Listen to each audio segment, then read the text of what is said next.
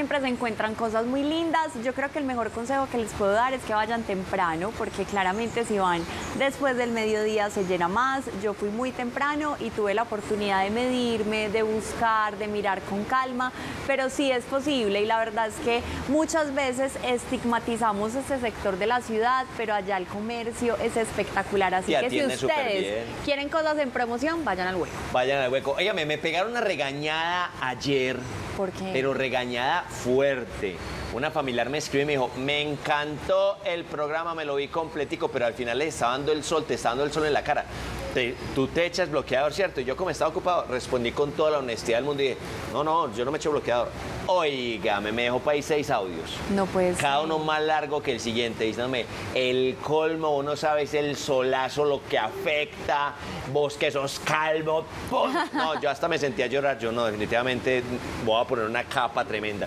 Y es que como estamos en época de vacaciones, bueno, no hoy, porque hoy está lloviendo, pero generalmente en vacaciones hace mucho sol, tenemos que cuidarnos la piel tenemos que hacer un trabajo de cuidado de piel. Usted sí es una persona que supongo que se cuida mucho la piel, pero nosotros los hombres somos muy descuidados en ese tema y empieza a salir por aquí que la mancha, que no sé qué cantidad de cosas y hay que ponerle cuidado. Por eso hoy tenemos un invitado que nos va a hablar precisamente acerca de esos temas. Nos acompaña Yuri Alexander Usuga, que es dermatólogo y que, no sé, doctor, también me va a pegar una regañada por no haberme echado bloqueador ayer, ¿cierto? Claro que sí, se fue para el hueco y no, y no he hecho la antisolar.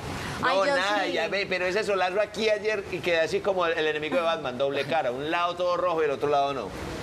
Gracias Alejo por la invitación. Mira, de las cosas que yo más le agradezco a mi mamá es que me enseñó desde muy chiquita a usar crema humectante en el cuerpo, crema hidratante en la cara y bloqueador. yo me acuerdo que desde el colegio yo me echo bloqueador en la cara. O sea, este ritual es todos los días. Alejo, así no salga de la casa todos los días porque leí que las pantallas del celular, la pantalla del televisor, las luces del estudio, por ejemplo, te pueden manchar la piel. Óigame, doctor, ¿le creo a Aleja todo eso o, más bien cuénteme usted la verdad? Tiene que creer. ¿Le Cierto, doctor. Cuando hablamos de la radiación, vamos a partir por algo muy importante y no ver el sol como un enemigo. El sol es nuestro amigo, ya que por medio de él pues prácticamente todo existe en la naturaleza, los animales, los seres vivos. Sin embargo, es muy importante tener en cuenta que ese amigo debemos solamente habituar los 5 a 10 minuticos al día precisamente porque nosotros necesitamos de todas formas del sol para varias funciones del cuerpo, entre ellos principalmente la activación de la vitamina D, que es la responsable de llevar el calcio al hueso. Y segundo, el sol sirve como un antidepresivo. Está demostrado que la radiación solar libera encefalinas y endorfinas, las cuales disminuyen el estado del estrés. Pero lo importante es tener en cuenta de no abusar tampoco de este amigo. O sea, doctor, que eh, siempre, lo que dice Alejandra, siempre, incluso dentro de la casa, después de bañarse, deberíamos ponernos una hombres y mujeres. Correcto. O, está muy exagerado ese término. Es correcto. Los antisolares o protectores solares deben de empezarse a habituar a usar con una buena educación a partir de los seis meses de edad. Es la edad primordial para arrancar a hacer un antisolar y debemos habituar a usar cada cuatro horas. A las 7, 8 de la mañana si vamos a trabajar, a las 11 o 12 del día y nuevamente a las 4 de la tarde si aún hay ¿Pero por qué? Porque pierde las propiedades. O sea, me eché a las... no, no, no se dice echar. Me apliqué a las 7 de la mañana y a las 11 ya eso de me está... Ya, se absorbió o qué? Correcto. Existen estudios en todas partes del mundo donde el factor de protección de un antisolar por encima de 30 protege aproximadamente por 4 horas máximo. Por eso hay que reforzar cada 4 horas el antisolar.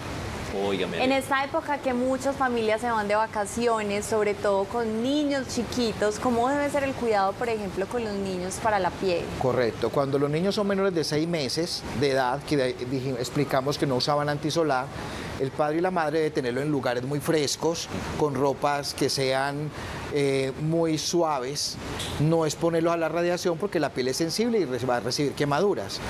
Después de los seis meses, los niños en zonas muy calientes deben usar protectores que tengan pantallas. ¿Qué es una pantalla? Es una sustancia mineral que al aplicarle sobre la piel repele la radiación solar y no permite las quemaduras, mientras que los antisolares que tienen filtros permiten de que ah, la radiación eh, al, repeler la radiación, parte de ella se absorbe y se transforma en calor. O sea que los protectores solares que son con filtro permiten un leve bronceado, mientras los que, que tienen pantalla no permite que haya un bronceado en la piel. Y ese es el que necesitan los niños. Exactamente. Por ejemplo, Alejo, Alejo tiene una hija de cuatro años, cuatro años, ¿verdad? Sí. Con Samantha, si ella va a hacer actividades al aire libre, así no esté en una ciudad de clima muy caliente, más caliente que Medellín, o así no estén de paseo, le debes poner antisolar. Buen dato. Usted dijo una palabra que me llamó la atención de una, bronceado. Es que yo he visto que estas chicas lleguen, no, que me voy a ir a la terraza y, y son dos horas ahí en esa chicharroneadera. ¿Eso es malo también o no? Claro, Alejo, te voy a explicar por qué. Nosotros debemos de recibir el sol 5 o 10 minuticos máximo No al día. más. No más. Cuando uno se expone al sol y ejerce quemaduras, el organismo, o sea, la piel, va a activar unas células que llaman melanocitos, que son los que producen la melanina. La melanina es la que le da el color a la piel, ¿cierto? El canelita Hollywood que dice. Exactamente. Esa melanina lo que hace es una protección. Se activan para dar un color, pero al mismo tiempo me están ayudando a evitar de que la piel se queme. Entonces, los melanocitos son como un mecanismo de defensa del organismo a protegerse de la radiación. Si nos exponemos mucho a radiación todos los días, una o dos horas en una terraza, a broncearnos en una piscina o en el mar, esos melanocitos se van dañando. Se daña esas celulitas y se puede generar por la daño de esas celulitas una lesión grave que se llama melanoma, que es un tumor maligno de la piel. ¿Qué hacemos los que andamos en moto? Que salimos a hacer una vuelta a las 11 del día y eso para uno en un semáforo y siente uno ese fogonazo tan tremendo. Ahí también deberíamos aplicarnos alguna cosa. Claro que sí, el antisolar es primordial en la cara. Si no tiene la posibilidad de aplicarse en ese momento antisolar, lo ideal es usar algo que pueda cubrirme las zonas donde estoy expuesto al sol. Una camisa manga larga, eh, ponerme gafas, las cuales puedan repeler la radiación ultravioleta A y B. ¿Cierto? Yo que pensaba salir así en buscapleito, así de camisilla en la manga No, no se va a poder. Imagínense que cuando yo estaba muy chiquita, yo tenía unas primas con las que nos bronceábamos, doctor, usted me va a matar. Nos bronceábamos con Coca-Cola, con aceite eh, de cuerpo Confesiones. y le, Confesiones de Alejandra Tamayo. le rayábamos una zanahoria, un tarro de aceite y nos untábamos eso y quedábamos súper bronceadas. O sea, pero la idea era, la, oíste, la idea, la idea era cuál, hacer una, una cocina ahí o cuál era la idea, un cóctel. Doctor, eso es muy malo y todavía hay personas que hacen Al eso. doctor está- se le sale una lágrima por aquí como Claro. perdí mis años de universidad con esto. Sí, Oiga, claro. pues sí, claro, hay gente que empieza que no, que echémonos un poquito de aceite, no sé qué. que- Correcto. Eh, generalmente los aceites es como cuando uno va a freír. Sí, se está fritando. exponerse al sol, O sea, esta muchacha están haciendo una fritura ahí bien, Exactamente. bien va a chévere con coger zanahoria. Un eritema. Dependiendo del fototipo de piel, es que nosotros bronceamos o no bronceamos. Los pacientes de países europeos donde la piel es muy blanca, ojos azules, pelo rubio, son fototipos 1 y 2 en los cuales se exponen al sol, se queman y no broncean. O sea, nuestra Camila de redes, por ejemplo, que la vio. Camila para Europea. quemarla, que, Camila para que coja canelita Hollywood hay que pintarla, hay que coger Exactamente. con aerosol. Entonces, Camila, por más que se exponga al sol, siempre va a quemar roja. Claro, Sí, sí. se va a insolar. Exactamente. Y eso pasa con las personas que vienen en el oriente, en los pueblos como Río Negro, Santuario, que son monos, blancos, de ojos azules, tienden a quemar, no a broncear. ¿Cierto? Y ni hablemos de los calvos, doctor, porque pues esta, esta sí que es una cosa tremenda. A propósito de Camila, la imbronceable, eh, ¿qué preguntas hay en redes sociales, Camila? Preguntando, si no usé bloqueador y tengo la piel quemada, ¿qué puedo aplicarme? Correcto. Cuando nos exponemos al sol y no usamos antisolar y nos ponemos rojos, eh, existen remedios caseros, porque muchas veces no tenemos a la mano alguna crema que me pueda ayudar, ¿cierto? Entre ellos, los baños de maicena. Uno puede coger un poco de maicena, echarle un poco de agua y aplicarlo en esas zonas de modo de que la piel calme la irritación, ¿cierto? El dolor es muy importante tener en cuenta que ahí sí tendría que consultar a un dermatólogo donde aparezcan ampollas, otro tipo de lesiones eso por la quemadura. fiebre, la insolación eso, es muy grave. Eso ya si no es que, que con maicena la, en la ampolla, no, ahí ya es Exactamente. otro tema Lo más otro profundo. importante es hidratar el cuerpo. Ingerir bastante líquido, ya que la radiación produce una deshidratación de las células. Doctor, recordémosle a los televidentes cuáles son esos horarios en los que uno debería exponerse al sol, porque si yo estoy en la playa y hace muchos años no voy a la playa, yo voy a querer disfrutar todo el día Todo el del día, mar. todo el día. ¿Cómo hacemos para poder nivelar y no estar en esas horas que son más críticas? Correcto. Lo ideal sería tomar el sol entre las 8 y las 9 de la mañana. El sol más peligroso es entre las 10 y las 3 de la tarde. o sea, la hora, la hora, la hora Más corroncha para la piscina Claro, y para el mar, ¿no? Porque es que los rayos del sol caen perpendiculares sobre la Tierra en ese momento. Y no pensemos que porque no está haciendo sol, no estamos recibiendo radiación. Colombia es un país que es tropical, no tiene cambio de estaciones. O sea que esta- a esta hora me puedo quemar. así está novando, claro, así estén las nubes o esté lloviendo, siempre va a haber radiación. Oíste, yo sí soy la, la señora antisol completamente. ¿No te yo, gusta? Sí, yo voy al mar y yo me pongo un sombrero por ahí hasta aquí, un buzo hasta acá. Ya vamos a hablar de tipo de O sea, ropa, pero primero. Camila tiene más preguntas en redes. Nos preguntan cuál es el bloqueador ideal. Correcto. Y cómo El- leerlo también, porque... En la actualidad decir que un bloqueador ideal sería el antisolar, porque es diferente, antisolar a bloqueador. Lo ideal sería que tenga un factor de protección mayor de 30, ¿cierto? Pero en los países donde el clima es mucho más caliente que Medellín, lo ideal es usar un factor de protección mayor de 50, que sea cosmético para la persona, porque no todos los antisolares son para todos los tipos de pieles. Los antisolares en geles son para las pieles que son grasosas, los que son en loción también pueden servir para las pieles grasosas, los que son en crema son más para las pieles secas y los que vienen en emulsión pueden ser para las pieles mixtas, o sea, para cualquier tipo de piel.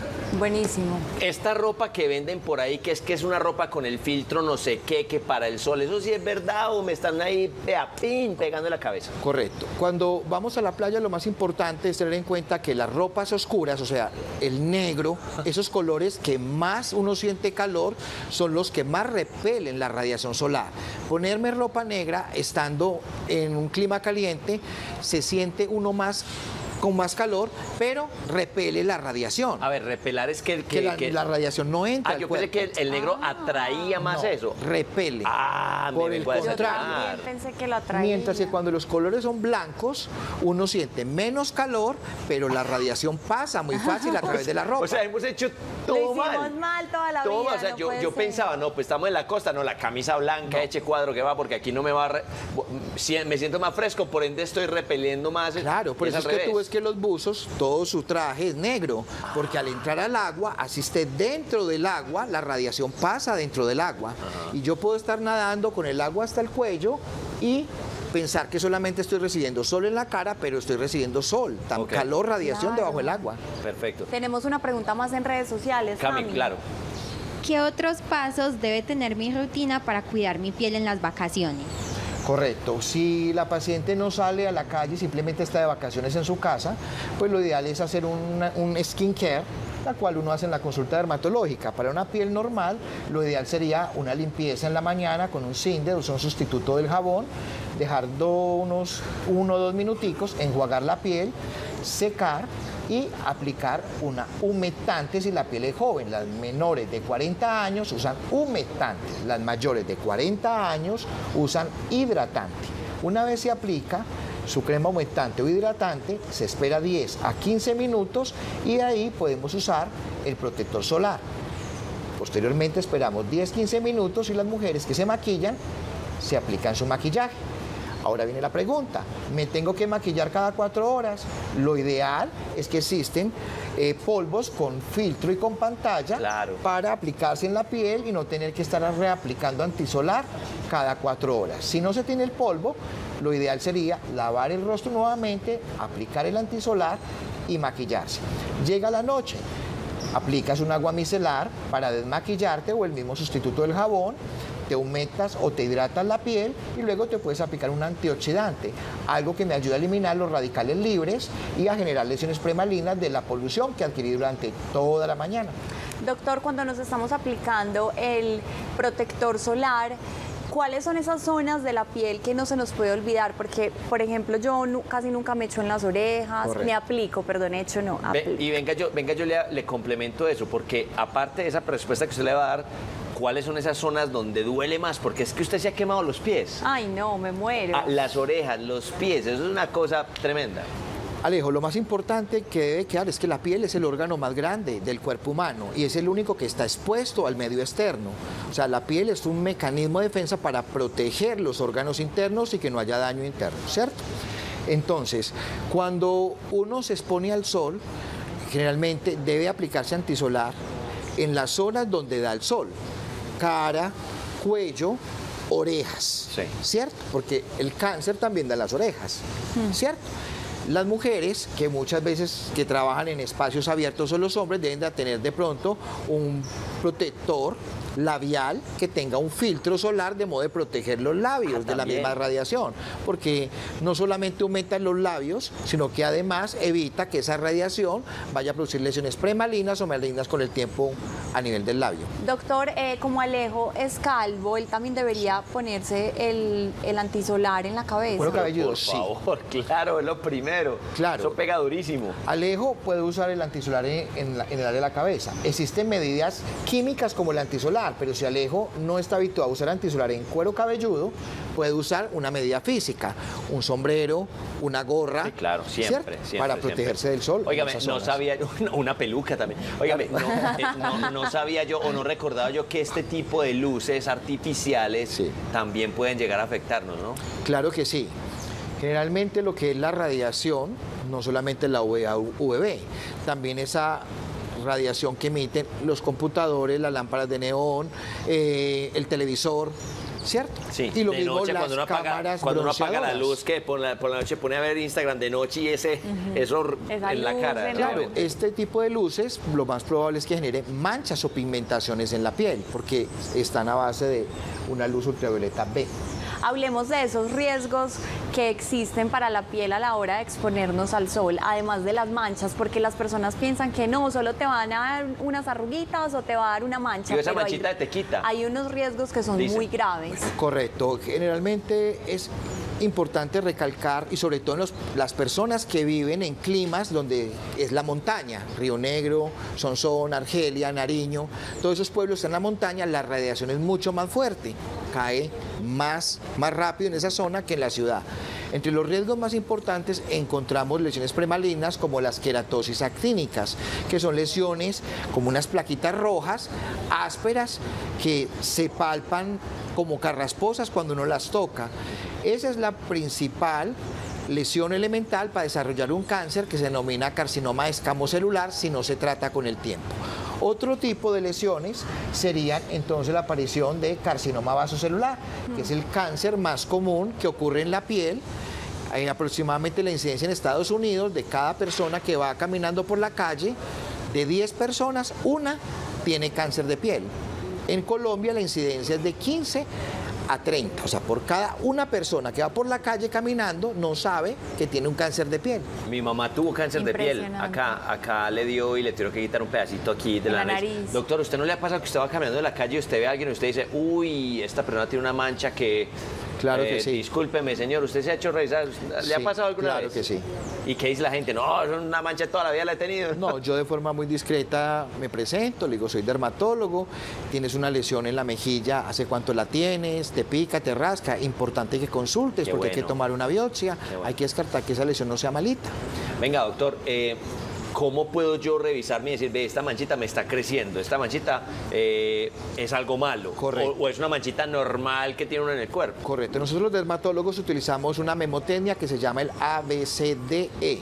A significa asimetría, B bordes, C color, D diámetro y E evolución o elevación de la lesión. A es coger una lesión y partirla en dos partes iguales. Y la lesión del lado derecho tiene que ser igualita a la del lado izquierdo, Ok. o sea, hay una simetría. Si vemos que un lado es más irregular o más mapiforme, empezamos a sospechar. B son los bordes, los bordes tienen que ser definidos, muy redondeados. Si vemos que los bordes son irregulares, también vamos a sospechar. Color, sospechamos que un lunar es malo cuando tiene tres o más patrones de color.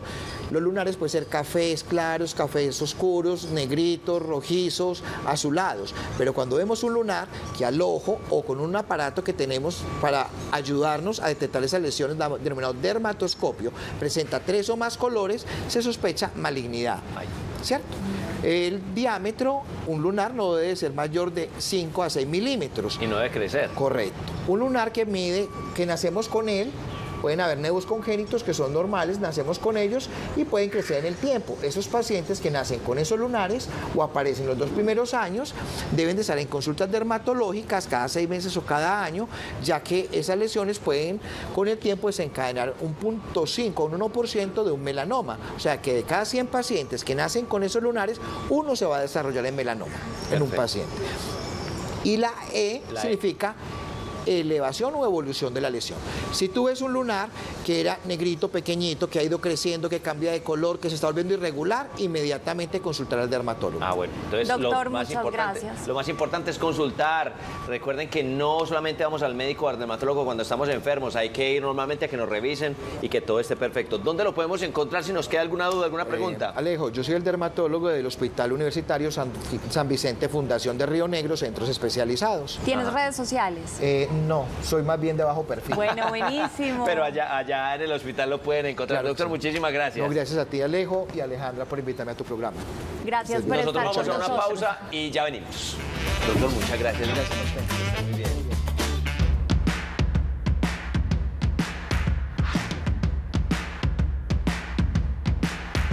Estás viendo